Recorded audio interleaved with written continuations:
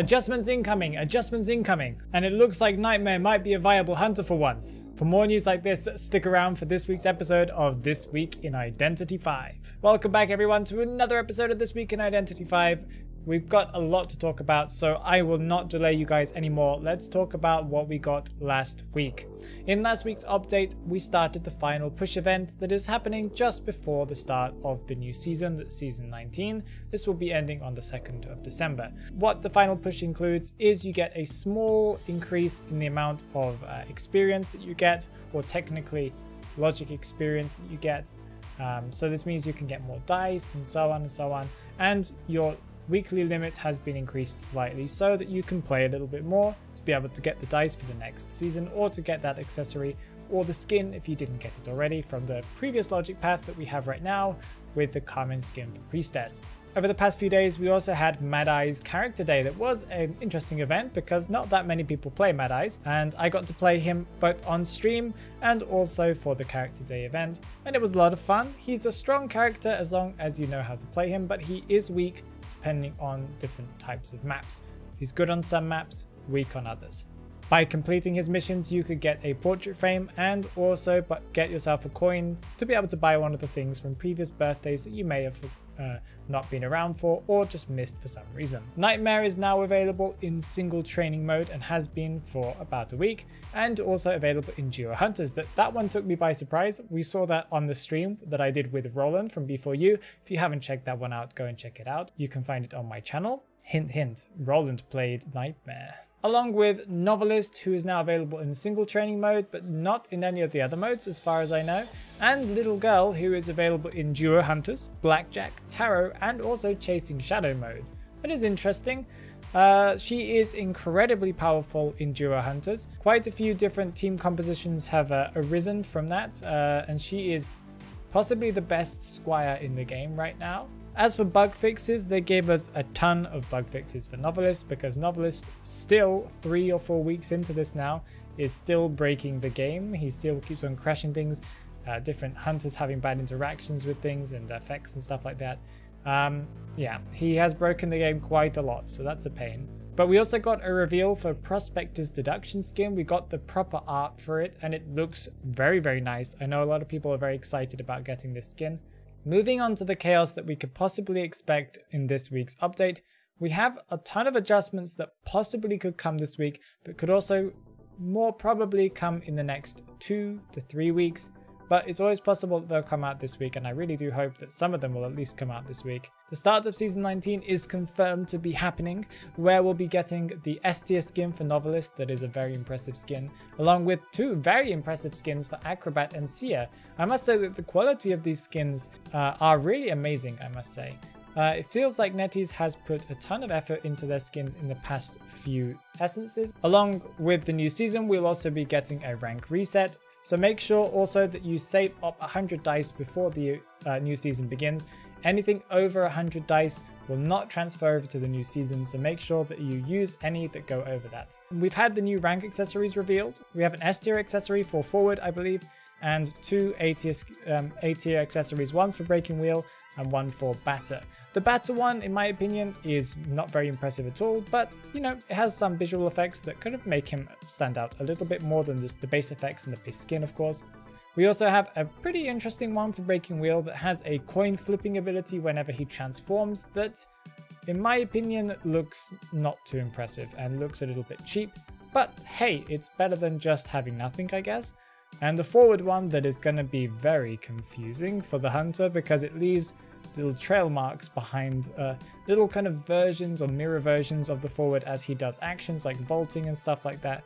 Uh, could be a little bit of a pain to be able to wrap your head around as a hunter, but hey, it's a nice looking accessory. We have so many adjustments that possibly could come out this week, but probably will come out in the next two weeks, but we'll find out soon enough. Some of the adjustments are, for example, Toy Merchant, who will be getting her catapult slightly adjusted. Now all survivors will be able to see the locations of the catapults. That does help in her kind of being an assist kite character. And it will take a little bit longer for a hunter to break the catapults, being increased from 1 second to 1.5 seconds to break, I believe. Enchantress, I'm not too happy about Enchantress's uh, buff. She has become less of a skill character now. Her stuns charge incredibly quite quick now, but they do take longer depending on the stack. So the first one is super fast, the second one is slightly slower, and they get slower until you get to number 5. Also, I believe her range has been increased, so she can now get stuns from a further distance. And I think that's about it, but she, I, if you watch some videos on her changes, she can get stuns so quickly now. Prospector got a small adjustment that I think is going to be a powerful one for him. His magnets will now prioritize hunters over survivors, so that's a very good thing, meaning that he'll be able to assist more in different game modes along with just the quick match mode. Patient has had a pretty heavy nerf now because he's been played pretty competitively for uh, since his release. He will now have a slightly shorter distance when he pushes himself off from a wall. They've added a gravity style effect where he will kind of arc much sooner than he used to. So his ability will be less like an elbow pad, but can still be used to be able to vault over walls and get into windows and so on and so on. Mechanic has had a very strong nerf that has uh, people have been asking for for quite a while now. Her bot's decoding speed has been decreased considerably from 125% down to 110%, and they've completely removed the 3% buff that she gives to all the members of her team. So that means that decoding with a mechanic will be much slower and she won't be able to abuse her bot as much as she used to be. This I think has put Mechanic in a healthy spot because she's still a strong character overall due to her being like a technical 5, five players versus one hunter. Now she will be less uh, overwhelming you could say. Little girl has finally got all the nerfs that people have been asking for. Maybe now she might be a bit more of a balanced character, but we have yet to see. She, her echo time, her pages as we call them, her charging time has been increased from 45 seconds to 60 seconds. She gets a page and 0.25 of a page at the beginning of a match instead of just one page, so she does get her pages a little bit sooner in the beginning of the match, and her pages don't push as far. They, they are apparently going to shorten the distance of those pushes. Her syncing cooldown has been increased from 20 seconds to 30 seconds, so it takes her longer to be able to sync up with someone, and she needs to be closer to the survivor to be able to do the syncing. They've uh, halved the distance, 3.4 meters to be exact, instead of 6.8 that was before. And something that was very necessary for her is that she can now not sync with the survivor after being rescued for 20 seconds. This means that you can't quickly sync onto the rescuer and then be protected. It does force you to kite the hunter after being rescued. Postman has got a nerf and some people say it's a big one, some people say it's a small one. I think it's something that is an interesting nerf to him. His dog distance firing, I guess technically when you fire it, has been decreased from 1.69 meters down to 1.27, so the dog doesn't go as far, but it's not as big of a change as you would think. But the cooldown if you miss the dog has been increased almost double. That can be a problem, but it does reward you more if you manage to latch the dog onto the survivor. Batter has also received a big nerf. His knockback distance has been decreased when he's both in his uh, Rage Rampage form and also not in his Rampage form. If he's not in Rampage form, his maximum has been decreased from, from 5.08 uh, meters down to 4.14 meters. That is a big difference and his rampage has been changed from 10.15 to 8.18. That is a very strong uh, nerf as well.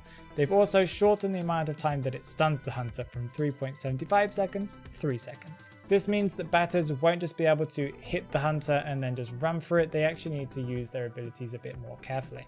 Psychologist's bubble, you could say, has been decreased in how much time it's actually live for. And if you're playing multiple psychologists, the amount of time it takes for you to use empathy has been increased depending on how many psychologists are in your team. That is a good nerf because a lot of players like to abuse abilities uh, by taking multiple of the same person. Imbalm has had a very strong buff. His casting time for bringing up the coffin when he first uses it when he uses in general has been decreased from 5 seconds to 2.5, it's so fast now, and you'll be able to exit the coffin when you get revived 0.5 seconds faster. And his memorizing the face has been incredibly buffed by giving him a previously 12.7 meter radius to be able to memorize his face up to 21.9 meters. So now he'll be able to memorize faces from much further away that makes him more viable as that type of assist character. All survivors will also be getting a crawling speed increase of 40%, But to be able to counter that, they've also nerfed Sticker, bringing it down to 30, 60, and 90% increase depending on the stacks that you get of Sticker.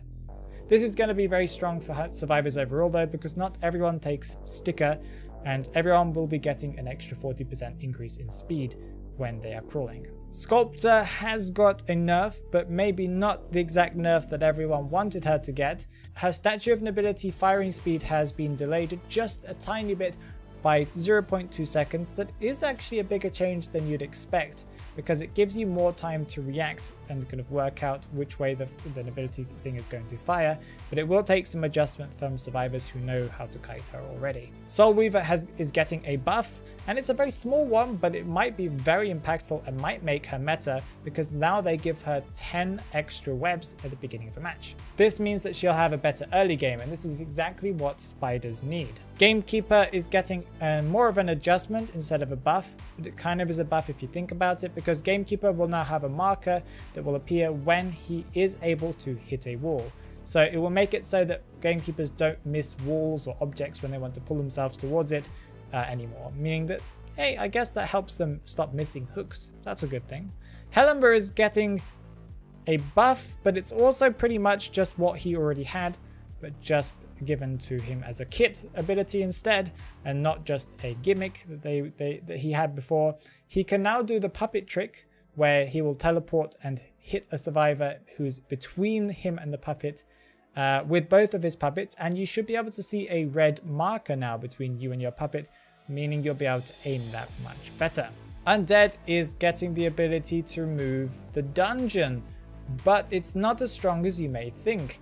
It takes a very long time for him to be able to close the dungeon. The animation is very long and to which survivors can get in, can escape from the dungeon whilst you're doing it. And the survivors will be able to see where you've relocated it to and they'll also be able to see your location. This means that this plus the increased uh, crawling speed does mean that Percy is not looking that viable anymore, even if he was viable in the first place. Moving on to what we can expect from the future. The duck skin that was announced or kind of rumored last week that I talked about has finally been confirmed and it's an event for China. It is a B.Duck crossover to which I know nothing about what that is, but it's possible that we will get that over on our side, maybe at the same time or maybe later on, but it's a very interesting crossover and the skin, as we've already seen from the renders, looks incredible. There's also been a render for a Breaking Wheel skin that is kind of a COA 4 themed one, where he's kind of got some race painting on him and a flag on him. Possibly it's a render for COA 5, but I think it might just be a skin that will be released as a COA 4 add-on maybe for next year's event. Who knows, we'll find out soon enough. I wouldn't say it's the most impressive skin though, it's just a recolor, possibly a B tier skin. We've had leaked a 4th anniversary offline pack that gives you an interesting frame and portrait that is a very nice looking geisha thing, along with some other things that I'm not completely sure what they are. But that might mean that we'll get some type of special pack in the future with some nice stuff. Let's move on to the talk in the manor now, where I respond to your comments on my recent videos. The first comment is from Taruchi that says, I got distracted with the matches and didn't really pay attention to the conversation. I gotta watch it again. Lol. Yes, this is the video that I released recently with Roland where we had a long interview and I had some people from the Discord provide me with some gameplay to be able to entertain you whilst you're listening. And the gameplay, I must say, was very, very impressive. Uh, we had a very strong axe boy who was hitting all of the fireballs that very, was very, very impressive. Um, and yeah, I cannot blame you for being distracted by the gameplay. It was very, very good. I hope you liked Roland's interview as well. Da Potato Man says, you should make another video with Roland to give people tips.